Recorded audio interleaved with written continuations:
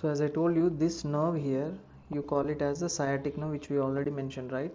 Sciatic nerve divides into two nerves. So this nerve which is passing laterally right? And there is one more nerve that is passing exactly posteriorly. So the nerve which is passing exactly posteriorly you call it as posterior tibial nerve. And this nerve which is passing laterally you call it as common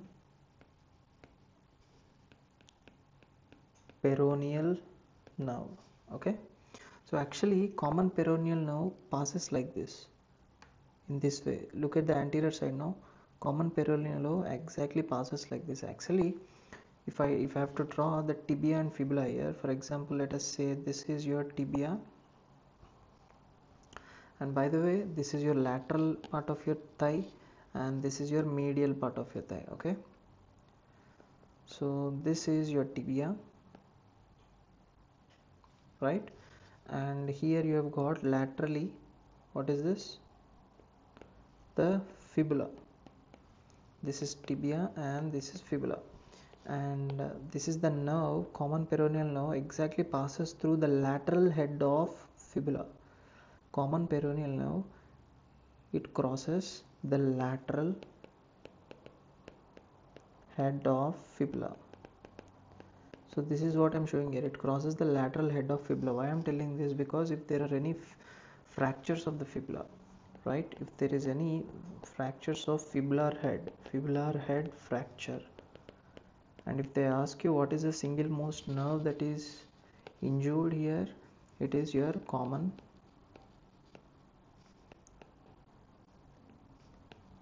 peroneal nerve common peroneal nerve right? Anyways so this common peroneal nerve here on the anterior aspect it divides into two. One nerve that passes exactly down and there is another nerve that passes laterally like this. Okay?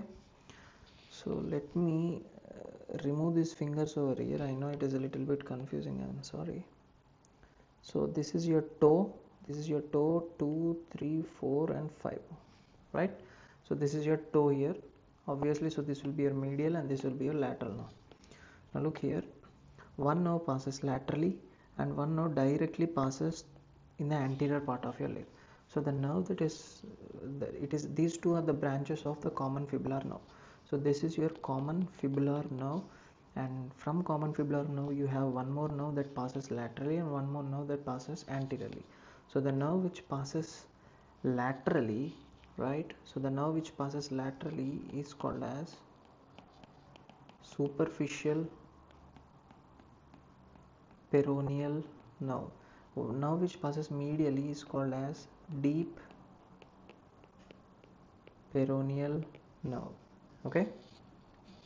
Now what is the function of superficial peroneal nerve? Let me write it here. Superficial peroneal nerve. So basically this superficial peroneal nerve supplies to your lateral part of your leg. Lateral part whatever muscles are located the peroneus muscles which are located on the lateral side of your leg i already discussed about the peroneal muscles. So these peroneal muscles which are located on the lateral side of the leg are supplied by this superficial peroneal nerve. Okay? So obviously what will be the function? That is eversion of the leg eversion of the leg. What is eversion? Let me show you. So as you can see in this picture this function here you see lateral elevation of the leg. Lateral elevation of the leg is called as eversion of the leg. And this function is performed by superficial peroneal nerve which is very very important to remember. Now we are done with the superficial. Now let's go on to the deep peroneal nerve. So deep peroneal nerve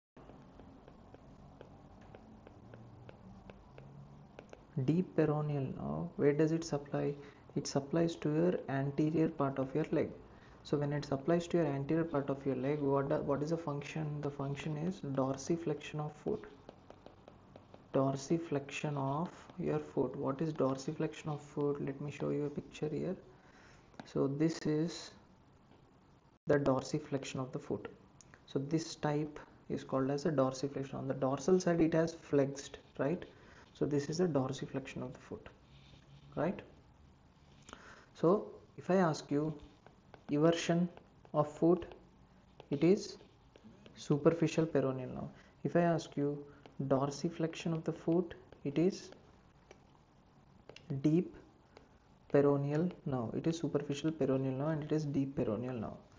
Another important thing which you need to remember about the deep peroneal nerve is deep peroneal nerve also not only has motor functions which are responsible for dorsiflexion it also supplies it also has sensory branches. And where does the sensory branches basically supply? These sensory branches basically they supply to the first dorsal web space. What is the first dorsal web space? Let me show you it in a picture so this is the first dorsal web space. So obviously this nerve which is coming down all the way like this you see this nerve is the deep peroneal nerve right? This is deep peroneal nerve. And between the first toe and the second finger you have got a small space here you see a small space. So this space is completely comprised of fatty tissue. It doesn't have any nerves nothing no muscle no nerve no arteries no veins. It is the gap that is formed by all of this. So this gap here which has nothing this is called as a space web space. So to this web space the sensory supply is given by the deep peroneal nerve. Okay? So so far we have discussed that.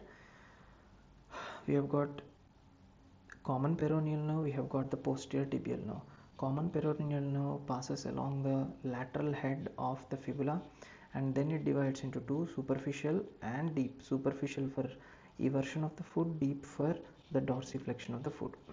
Now there might be questions like what is foot drop? What is foot drop is when you have injury to deep peroneal nerve when you have injury to deep peroneal nerve that causes foot drop. If they ask you another question like what is the nerve that is responsible for tarsal tunnel syndrome? Tarsal tunnel syndrome the nerve that is responsible for tarsal tunnel syndrome is the posterior tibial nerve. I already told you right? Sciatic nerve divides into common peroneal at the same time it also divides into posterior tibial nerve. So posterior tibial nerve damage causes tarsal tunnel syndrome. So apart from the topic, one important thing I want to discuss is there is also another thing called as carpal tunnel syndrome. Which nerve causes, which nerve damage or compression causes carpal tunnel syndrome? It is median nerve, median nerve of your hand damage causes carpal tunnel syndrome so these three are the most most important questions which you need to remember. Okay? So let's hang on to the questions now. The first question says that a 10 year old boy is referred to a pediatric neurologist by his pediatrician for lower extremity weakness. The boy is held with no past medical history. So but his parents began to notice that he was having difficulty at the football practice the previous day. Over the course of the past 24 hours, the boy has become increasingly clumsy and has been tripping over himself. On further questioning, the boy had viral illness the previous week and was out of the school for two days. Today, the patient's temperature is 99, blood pressure is normal, everything is fine, right? Of course, the temperature is increased because he was having viral infection. On the motor examination, in the flexion of the hip, 5 by 5, fine. In the knee extension, 5 by 5, fine and uh, dorsiflexion. You see in the dorsiflexion of the foot it is 3 by 5 which now is responsible for dorsiflexion that is your deep peroneal nerve and plantar flexion 5 by 5 the findings are same bilaterally. On the gait the patient exhibits foot drop. Why foot drop? Why foot drop? Because damage to the deep peroneal nerve causes foot drop. So which of the following areas would the patient most likely have diminished sensation? So which area won't receive sensation? So if there is damage of deep peroneal nerve which area won't receive sensation? So what did i tell you? Deep peroneal nerve gives sensory input to the first dorsal web space. So the answer here will be first dorsal web space of the foot. This is a question that is repeated previous to previous year. Hanging on to the second question a 64 year old female with a long standing history of poorly controlled diabetes presents with 3 weeks of abnormal walking. She says that she has early noticed that she keeps dragging the toes of her right foot while walking right? So and this has led to her troubling her toes. On the physical examination you notice a right side unilateral foot drop. Again foot drop which now foot drop is foot drop is for deep peroneal nerve palsy and accompanied by decreased sensation in the first dorsal web i told you deep peroneal nerve supplies your first dorsal gives a sensory supply to first dorsal web right? So obviously the answer will be here deep peroneal nerve okay? So another few points which I wanted to add which I wanted to add is that if they ask you what is the most common most common isolated mononeuropathy. Mono means single. Neuropathy means damage of single nerve. So obviously deep peroneal nerve damage is a single nerve damage. Posterior tibial damage is a single nerve. Medial nerve is also a single nerve. So out of all this which of the one is most common is? The most common is foot drop and what is the nerve responsible for foot drop? Deep peroneal nerve. So this is the most common isolated mononeuropathy disease.